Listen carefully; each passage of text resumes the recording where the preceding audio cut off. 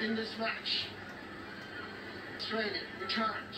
Peter Duggan hits it in, it's just gone to the right and wide.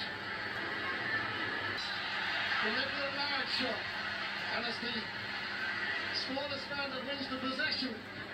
Yeah, when Kyle Hill gets that, he gets up ahead of Steve. But look at Shane O'Donnell here with the tackle and dispossessed and wins the ball back. Fouled. Brilliant play by O'Donnell.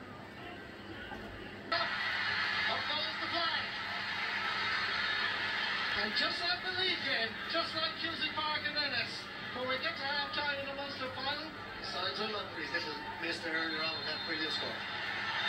listen to the roar of the fans.